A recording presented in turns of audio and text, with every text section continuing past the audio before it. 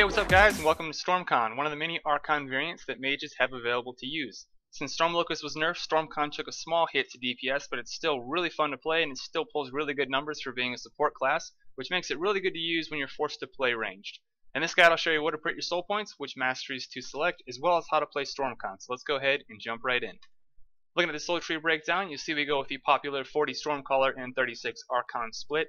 I'm not going to go over the point distributions here, but there are a few controversial point distributions, such as whether or not you want to take Spark Shower here. If you decide you don't want to take Spark Shower for the 15% movement speed buff, you can move this point over to Inspiration for the 4% spell power increase. And there are a few other ones as well, but I'll let you do your research on your own to figure out which way you'd like to build your StormChon spec.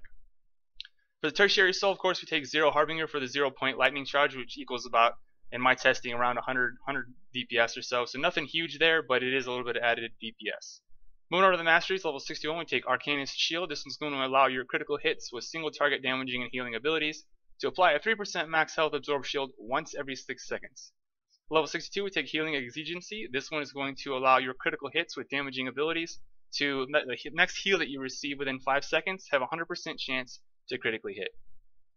Level 63, this one's pretty important. While in combat, instant and channel damaging and healing abilities apply a stack of combat alacrity to you, increasing your unmounted movement speed by 4% per stack, max 3 stacks, so that's a 12% movement speed buff there. But more importantly, it increases the number of allies your lava field, which is one of your support buffs, affects by 20 or 220 and makes lava field instant cast. This is really huge. You want to definitely make sure that you pick this one. Level 64 we take Calculated Annihilation. This increases the damage of your cast time abilities by 8% your channeled abilities by 5%, but it reduces the damage your instant abilities do by 5%. Since the majority of this build is cast time abilities, this one is the uh, no-brainer. Then level 65, of course, we take Arcane Manipulation, just because this is really easy to preload and get uh, some pretty solid DPS out of. So that's it for the Souls and Masteries, guys. Let's go ahead and talk about the macros. So looking at the macros here, there are quite a few. We start at the single target macro. This is going to be what you're going to be operating out of most of the time. Uh, you'll see up here at the top we have these two right here. These are off global cooldown. That's arcane manipulation, and it's also static flux. Uh, this one right here is going to apply the maximum stacks of electrified, also give you 10% damage done. So right at the beginning of the fight, if you don't already have these preloaded, it'll automatically cast them for you. And then of course we go down to Hailstorm. Uh, even though this is an AoE ability, it's an extremely strong single target ability. I believe by itself, without any buffs, it does 44k for one global cooldown. So that's pretty strong. That's why it's at the top of the macro there. After that, we have in order Icicle, Volcanic Bomb, Earthen Barrage, Spark Shower, which are all cast time abilities on cooldowns. And then, of course, we have the Spammer Thunder Shock there at the end, just in case you get there and you don't have anything else that you can cast. So moving over to the secondary one, we have a Lava Field macro here. This is simply just cast at GTAE, or Ground Targeted Area of Effect Lava Field. So this is just going to drop a Lava Field on whatever your target is. Um, you can also target yourself and fire this if you want to target uh, drop it on yourself. Uh, totally up to you. Then of course we have Flaring Power. This is just going to be simply cast Flaring Power and then it's going to have a raid message that says Flaring Power is up, 15% attack power, spell power for 30 seconds. Just letting your raid know what's going on. Uh, we have a mana macro. This is literally just so I can label it because I have so many builds I forget which ones are my mana regions. Uh, going on down we have the Stormcon K-Alert set. Up to the top here we have a preload macro. This is going to have your Storm Locus in it, which is a 20% buff to air and water abilities. It's going to have Arcane Manipulation and Static Flux in it, which are both uh, off global cooldown abilities that increase damage by 10% and apply your max electrified stacks, and also give you the 5 stacks that deal 8000 etho damage respectively. So that's it for the macros guys, let's talk about the action bar here real quick. So starting at the top left over here we have Storm Armor. This one's really important, you definitely do not want to forget this because it reduces the damage you take by 5%, but it also increases the single target air and water damage that you do by 20%. So this is a pretty big one to have up. Big, big, big, big, big DPS gain there. Moving over to the right, we have Lightning Charge. This one's from your Harbinger tree. This one is going to allow you to a 5% chance to deal about 1,000 air damage. Doesn't proc too often, but it is worth a little bit of a DPS gain there. Moving on the right, we have Arcane Manipulation. You typically won't ever have to cast this from here because it's in your pre-pull macro. Moving over to the right, we have Vitality of Stone and Shared Vigor. These two are unique because they look like Bard and Oracle buffs, however they stack. So pretty big deal. You definitely want to put these up. The, the bummer of it all is, though, they only last for 5 minutes. So you're to have to keep an eye on those. Of course, we have the K-Alert macro here. All these abilities over here just so that I can show you the tooltip values during this demonstration. Moving down to the secondary bar, we have on the Z key, on the Z keybind, we have the pre-pull macro. Remember that's going to have your uh, static flux, your inner arcane manipulation, and also your storm locus in it. On the Q key, we have crumbling resistance. This is going to increase non-physical damage taken by 7%. The cool part about the Archon debuffs is that they last 5 minutes. So typically in a raid, you're going to be asked to keep the mobs debuffed. On the key, we have Ashen Defense. This one is going to increase physical damage taken by 5%. On the key, we have the debuff macro. I'll explain more about this uh, in the rotation section, but really this just has the three cast time debuffs uh, that you can cast in the beginning of the fight. Over to the right, we have Illuminate. This is going to make enemies take 1900 additional damage for 20 seconds. This can be triggered once every 3 seconds. Now typically your Bard or Oracle is going to be using this type of ability in Raid because yours only lasts 20 seconds, but the Bards last 60 seconds and the Oracles last, I believe, 62 seconds. Uh, so you're not going to be having to cast this too much, but if you do, uh, you can always swap this to your R keybind if you choose to. Uh, over to the right, of course, we have the mana macro there. Moving on down to the main bar, we have a single target spam macro here. On 2, we have Raging Storm. This is going to be your highest DPS ability here. Uh, on 3, we have Living Storm. This is one of your dots that gets refreshed by your Raging Storm. On 4, we have Lava Field. On 5, we have Flaring Power.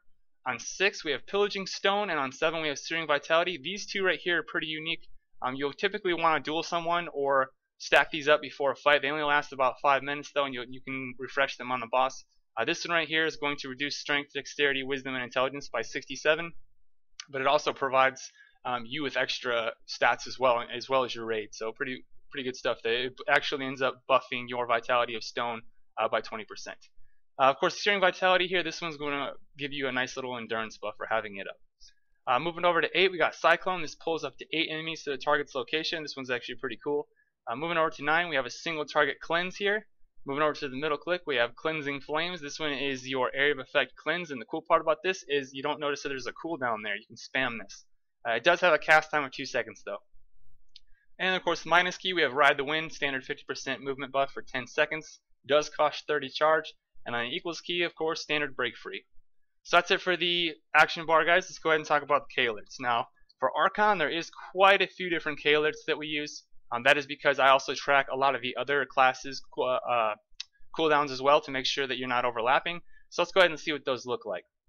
So starting at the bottom here, you can see we have Searing Vitality. That's this guy right here. And also Pillaging Stone. That's going to track the stacks of each one of those abilities. Moving over to the top left or bottom left right here, you can see we have the Crumbling Resistance. That's going to give you the timer Ashen Defense is also going to give you the timer. And right here you can see I have quite a few of these stacked up. I have the clerics, the bards, uh, different support abilities there as well, so I can tell if somebody else is casting it. Um, that way I know that if there's nothing there, um, then I'm going to fill that void with Illuminate until the Bard Oracle or whoever whoever's running it can get that buff up.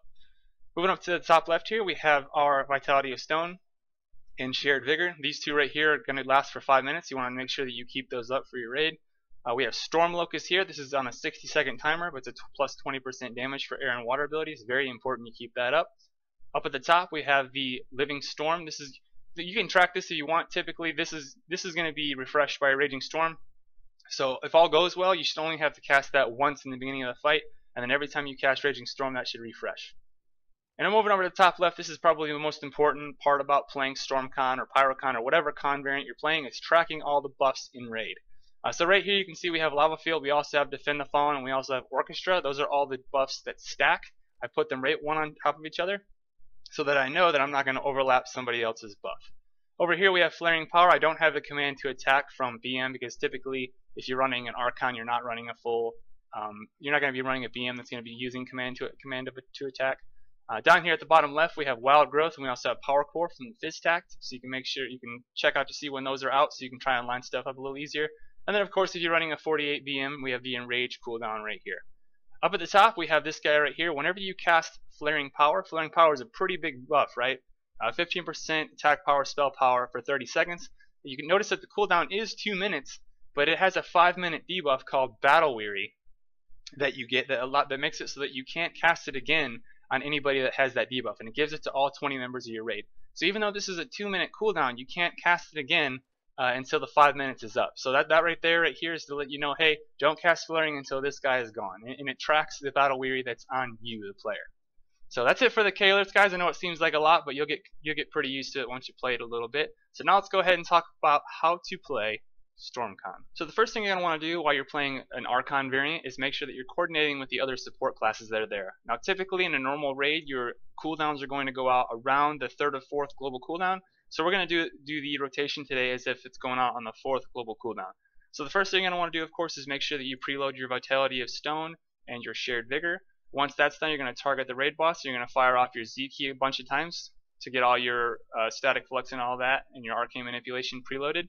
Once that's done, you're going to go ahead and do a crumbling resistance, ashen defense, volcanic bomb, then you're going to fire off flaring power lava field, and then earthen barrage with R key, spark shower with R key to get all your debuffs up, living storm, hailstorm on one, icicle, and then raging storm.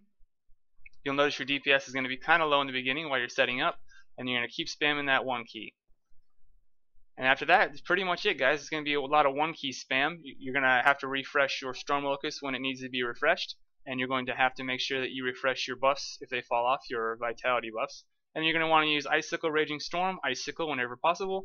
You can see that we're pulling in the high 30s there. We do have Flaring Power and stuff going, of course, but so pretty easy stuff, guys. After the, the initial setup's the hardest part. Once that's done, it's going to be mostly just spamming your one key, using your two key when it's up, and then using your one key some more you can see that Storm Locus is about to fall off, so we're going to go ahead and refresh that.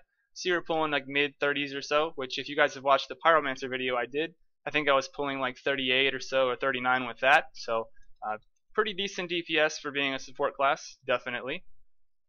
But uh, that's it guys, it's really easy to do. You can see we're just spamming 1 and 2 here after the initial setup, and Lava Field's back up so we can use that.